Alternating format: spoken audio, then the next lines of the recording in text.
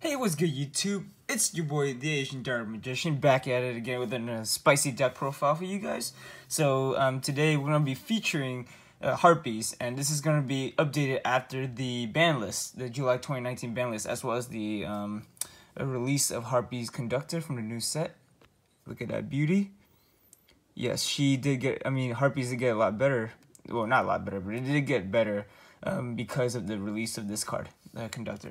So, um, yeah, without further ado, um, let's get into the deck profile, guys. Uh, yeah, so let's, of course, shoot.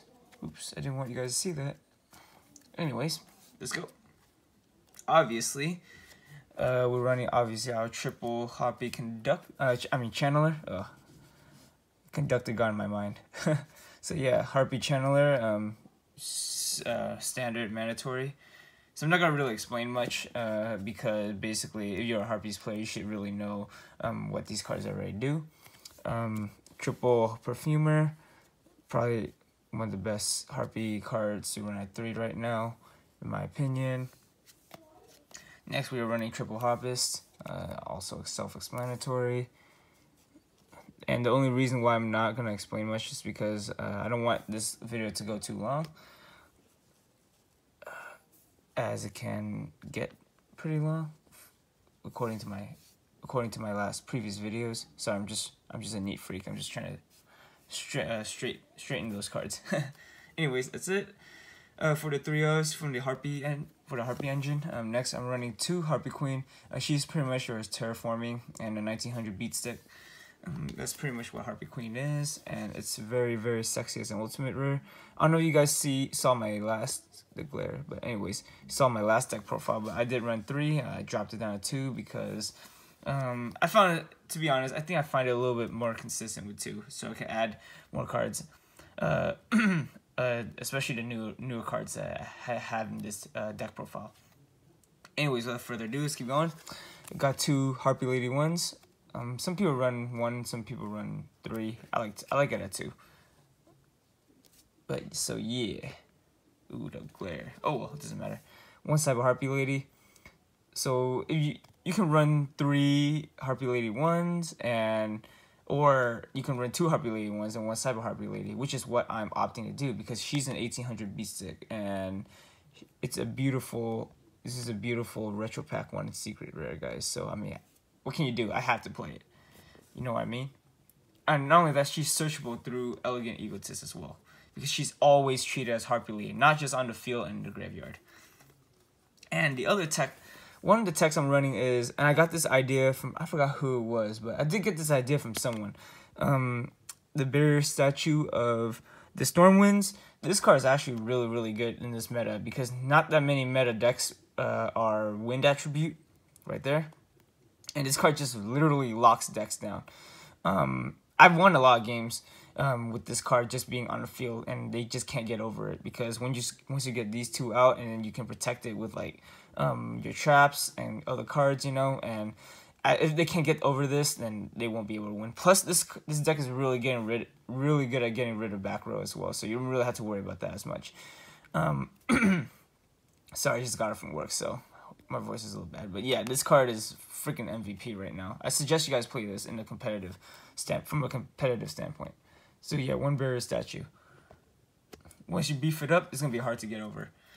And for the last cards, we are running some sort of hand traps, I believe. It's a um, it's really good. It's obviously the Ash Blossom. Sorry, these are commons. My secret rares are being run in my um, Dark Magician decks right now.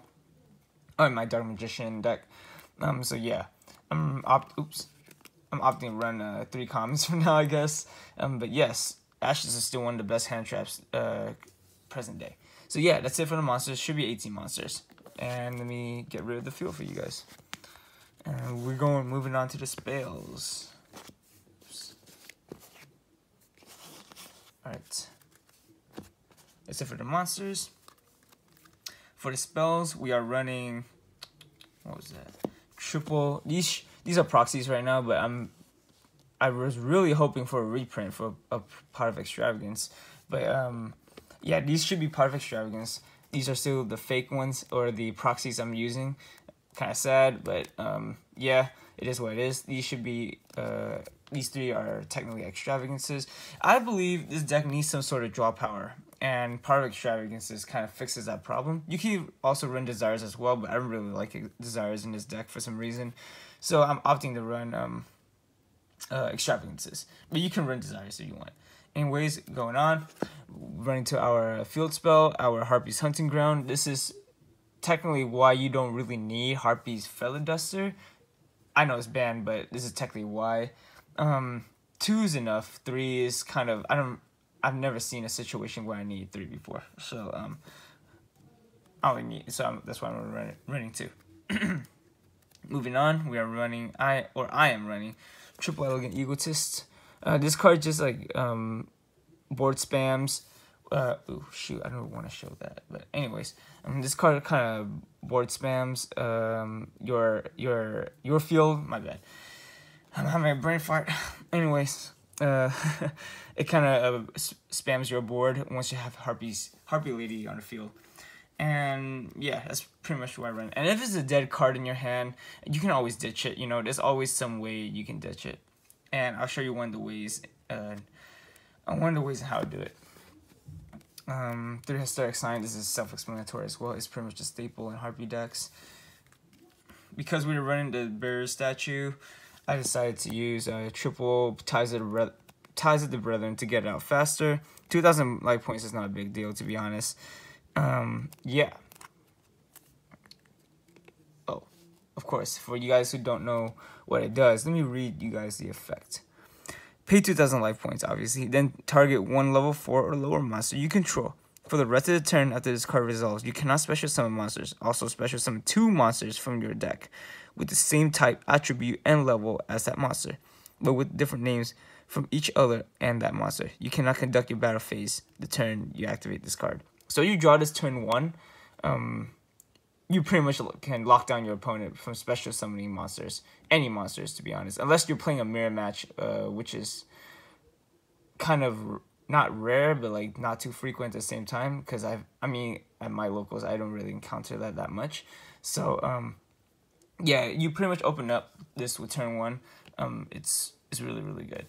Yeah, you can easily win the duel uh, depending on how you play the deck. And the last tech card I'm running is one card destruction. This is one of the cards that I really, really, really, really like as a tech, and can really get. It's good at getting rid of dead cards like Elegant Egotist and pretty much any cards in your hand to start anew and kind of, um, you know, uh, kind of start fresh and build your board. Sorry about that. Build your board and you can push for game, or depending on how you play. But yeah, one card destruction. So yeah, I don't know how many spells that was. Three, five, eight. 3, 5, 8, 11, 14, 15 spells. So it should be 7 traps, I believe. Yeah, should be 7. So that's it for the spells, guys. Oops. a little messy. We're at 8 minutes. Wow. Anyways, now we're running for the the best trap cards. The best trap card in this deck, Harpie Featherstorm. This card is just so good, guys because it's a technically a hand trap. But you have a harpy. You control a winged beast uh, on the field. So yeah, it's really really good. You need to run this at three if you're not you're not playing harpies correctly. And next we're running uh, two hysteric party. This is technically a soul charge for harpies, to be honest. Um, yeah, self-explanatory.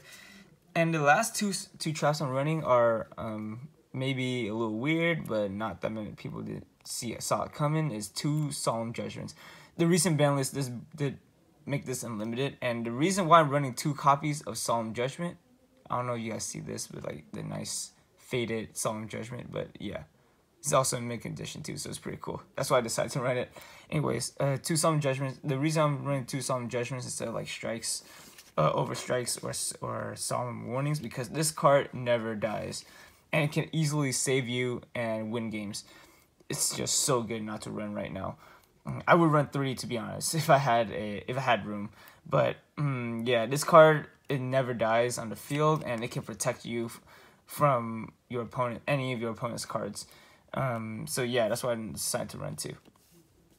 I would run three if I had room, but two judgments would be good. So yeah, that's it for the deck profile. Uh, for the main deck, uh, should be forty cards. next, obviously, we're running to we're going on to the extra deck. As you may have guessed already, I am running two Harpie Conductor uh, from the new set. Uh, this card is really really good. Uh, it kind of like boosts Harpies up in a way um, that I did not expect. So yeah, it's really cheap too. So you guys want to run Harpies, get them while they last because they're I got them for like three bucks. It's really really cheap. So yeah. One great fly. I used to run two great flies. I bumped it down to one because of one Harpie Conductor. I'm moving on. Now I'm only running Exceeds. To be honest, these are pretty much the staple the staple package for links for Harpies. Um, but now I'm running the, the two Lightning Chidori. Uh, that's pretty self-explanatory. two Zerafin. This is technically a skill drain for Harpies. And Harpies is one of the only decks that can run it, so yeah. It's the uh, added benefit. Uh, one uh, Utopia, or should I say the Utopia package, the Lightning. Um, one Castel, pretty good for a new rank 4. Abyss Dweller. Um, next are pretty much generic uh, rank 4s. Um, Bambuza. Bagooska, my bad. Gaga Cowboy for game. Um, uh, Rebellion XYZ Dragon because it can get really, really big. And one Tornado Dragon. And that is it for the deck profile, guys. I really hope you guys enjoyed this deck profile. Sorry, I just go got back home from work and I decided to make this like immediately. So I am really, really exhausted, but I hope you guys enjoyed the deck profile. Please make sure to follow me on Instagram at dmgisbae. Um, also, in addition, please subscribe to my channel. Um, like, like this video uh, to support your boy and comment it and tell me what I need to fix. Uh, any suggestions? Obviously, you Harpy players out there. Um, I really appreciate it. And um, yeah, it's your boy, the Asian Dark Magician, signing out. Later, guys. Have a good day.